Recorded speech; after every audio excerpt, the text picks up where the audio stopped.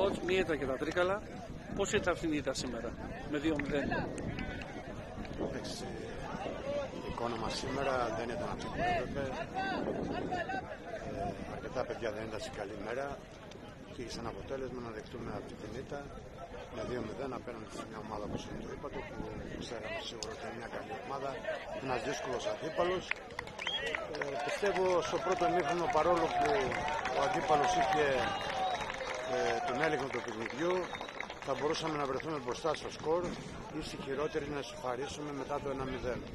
Αλλά η εικόνα μας και στο πρώτο μήνυμα δεν ήταν αυτή που έπρεπε να είναι.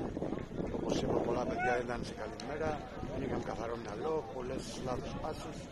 Ε, σίγουρα ο αντίπαλος δεν έκανε τις πολλές ευκαιρίες και δεχτήκαμε ένα γκολ από σε οργανωμένη άμυνα. Ε, δεν αντιδράσαμε σωστά και φάγαμε τον γκολ. Στο δεύτερο μήχρονο μπήκαμε με πιο καλή διάθεση. Πιστεύω λέγαμε το παιχνίδι, πήραμε μέτρα στο κήπεδο, αρχίσαμε να πηγαίνουμε.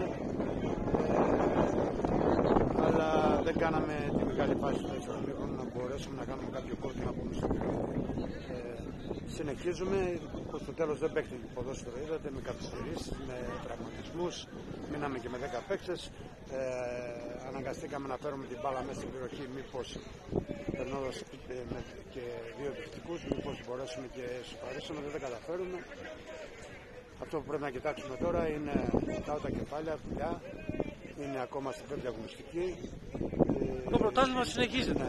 Να μάθουμε από τα λάθη μας και να δουλέψουμε ώστε να βρεθεί η ομάδα πάλι στην πρώτη θέση εκεί που πρέπει να είναι. Ευχαριστώ πολύ.